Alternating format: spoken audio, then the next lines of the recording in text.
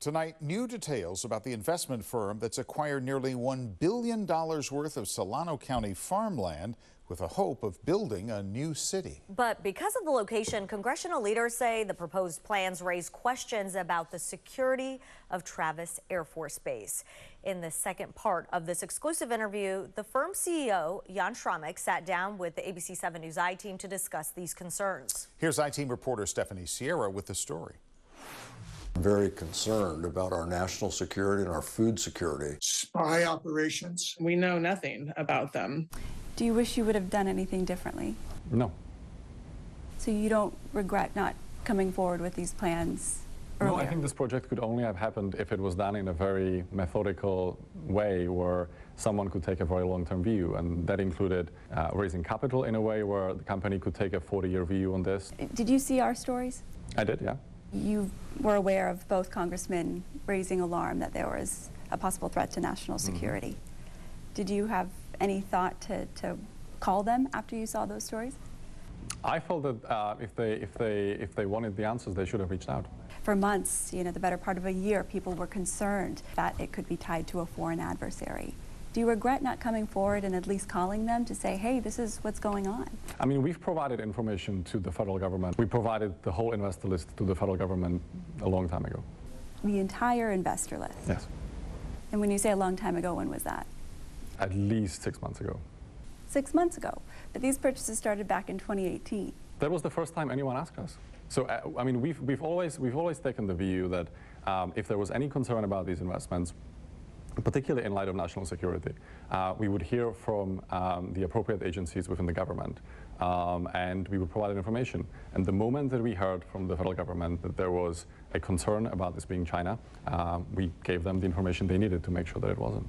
You know, the county administrator and the county assessor both told us usually when they work with investment groups or developers, they are involved in the plans. They want to sit down and meet with them to assess the viability of how it would work and what they would be up against.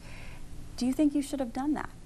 Uh, we are doing that. We have told them that we would like them to be as involved as they can be in the process. I mean, back in 2018. Do you think you should have done that? When you started this process, do you think you should have done that back then? I think we would have put them in a very difficult position if we had done that. And so I think what you often see is that someone will come in and they will they will acquire the properties, and then once they once they've acquired the properties or once they've optioned the properties, then they will come forward with the plans. And so I think the process we followed is is very similar to what other people do. Zoning concerns around Travis Air Force Base uh, have certainly raised alarm bells for local, state, and federal officials who represent the area. Specifically, Congressman Garamendi, who told us last week he cannot rule out a threat to national security still at this point in time, given the zoning overlay for Travis. What's your response to that? Um, we told Congressman Garamendi, and, and we've told it to many of the local elected officials as well, we will not change the Travis um, Reserve zoning overlay. And so this is a this is a zone that protects about, I want to say 7,000 acres around Travis. Um, and we've been very clear that we are not going to use the initiative to change that. And so anything that we do in the zone around Travis uh, would only be done with the support of the defense community and of the base. So, what will that area be used for?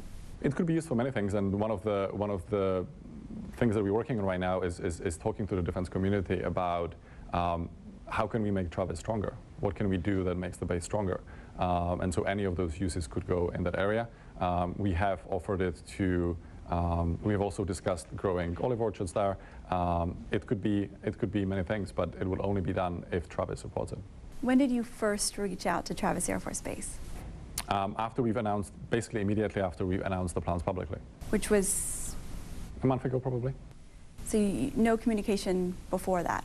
I mean, we've had communications with Travis. Um, uh, we have communications with Travis going back several years, where the base um, there's tactical things that they need. They need um, they need easements to monitor um, kind of cleanup activities.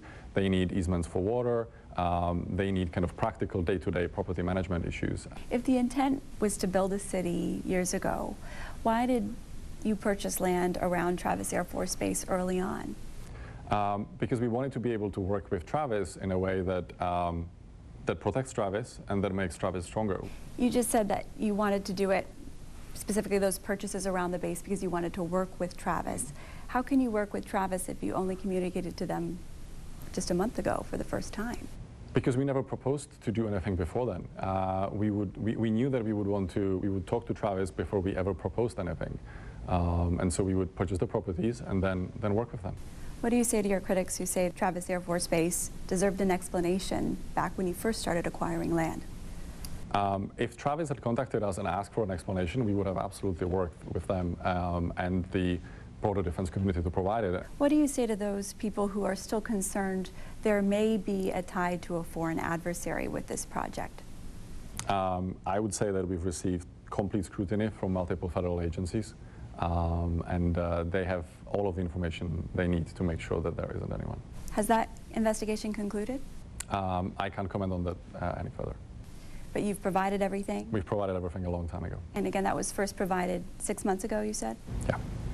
So do you plan to hear from them again? Um, I, um, I don't, um, I don't expect to hear from them. Honestly, I think they have everything they need to um, to make sure that there um, um, that there is no foreign involvement. For the I Team, Stephanie Sierra, ABC 7 News. And to get in touch with the I-Team, you can call this number on your screen or go to abc7news.com slash I-Team.